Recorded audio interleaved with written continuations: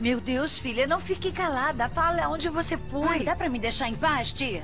Amanhã eu explico tudo o que você quiser, mas agora eu quero ficar sozinha. O Alessandro está muito irritado, Monserrat. Saiu correndo para te procurar. Devia ter visto os gritos que ele dava. Comecei a tremer de medo. Ai, você que é muito necessidade exagerada. eu tenho de...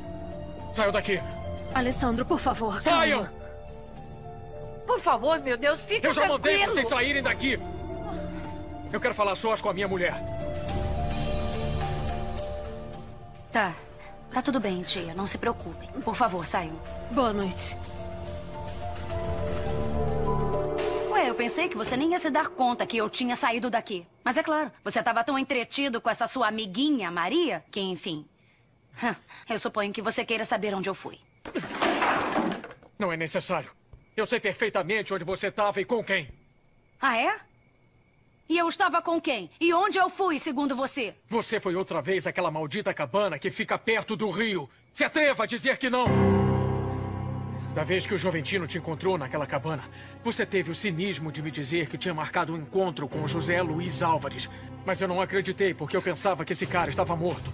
Mas você tá errado. Não, eu não Você errado. tá sim. Calma, Alessandro. Fica tranquilo. Deixa eu te explicar. Não, eu já te disse que eu não preciso que você me explique nada.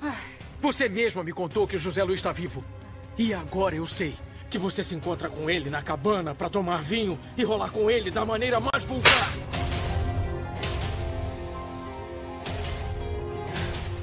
Eu espero que esse homem não tenha te deixado muito cansada. Mas o que, que você tá fazendo? Não se aproxima de mim. Por que não?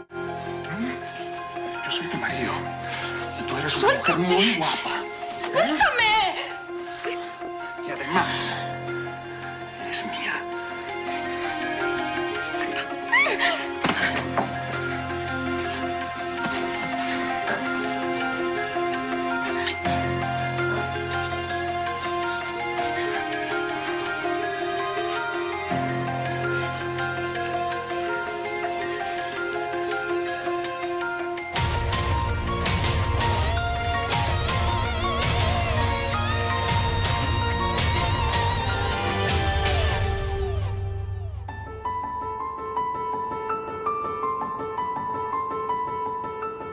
atreva a dudar de ti, de mí, ni quien controle este amor y este sufrir.